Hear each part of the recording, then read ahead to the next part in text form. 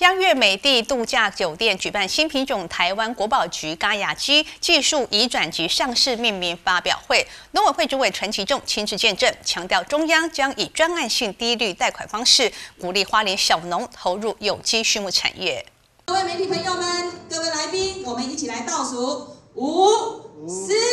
三、二、一，我们一起来见证嘎雅鸡的诞生，请签。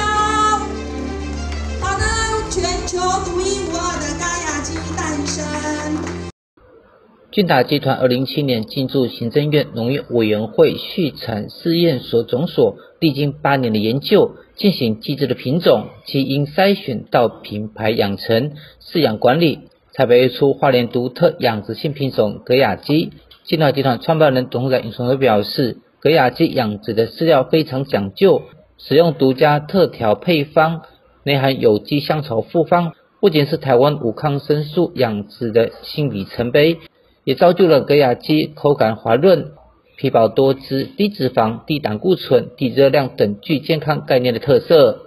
我们接下来这只鸡今天已经完成一个特种，比美法国普利斯鸡。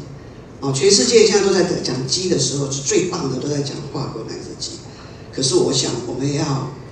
走出国际，我们这只鸡要比它更棒，因为它的鸡的饲养是用育肥的方式，而我们组长这个是用 best 的这个特殊的技术来饲养的。它不但是美味啊，因为普利斯鸡是美味，可是太肥哈。我觉得我们还是要吃健康的鸡，所以我们是以美味还要健康啊。所以我们下一个阶段，我们希望进入到所谓的新环经济。我跟组长长我们也开了很多次会。所长也大力的支持，希望我们接下来的我们的鸡要自食其力，我们要达到我们小农最大的经济效益。农会主委陈忠表示，饭店集团使用在地食材，具体照顾了在地小农。而这次技术授权之后，将经过花莲最重要的产业链，以后小农要参与有机畜牧产业，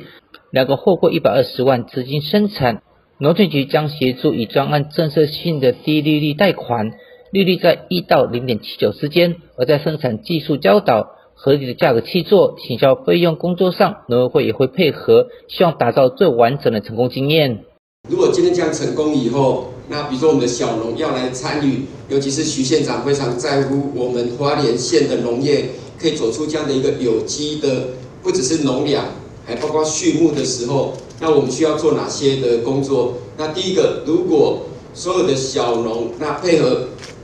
我们的君达林董事长这一边在合作的时候，那用货柜物两个生两个货柜物的这样的生产，那一个货柜要六十万，那一百二十万，我们农经局这一边李春勇局长会协助专任性的政策性贷款，和苏厂长会教导所有这样的一个生产技术的部分。那其实更感动的是，殷董事长会用很合理的价格，直接跟各位做契作。接着当然就是要行销，我想不只是行销花莲，还要行销到全国，甚至要到全世界。那行销的部分，不管是行销的费用，或者是相关的所有的这些工作，我们农委会这边都很乐意来配合。现代人重视养生，除了吃的健康、吃的美味，又讲求营养素的吸收。今年也特别推出格雅吉、里吉金、熬鸡汤等新的系列商品，加上完善的人力系统，推动到大都会区百货超市。未来将会规划泰国、中国等海外行销，推广花莲地方特色的顶级食材，让台湾无抗生素养殖以及技术在全世界大放异彩。记者集中介绍报道。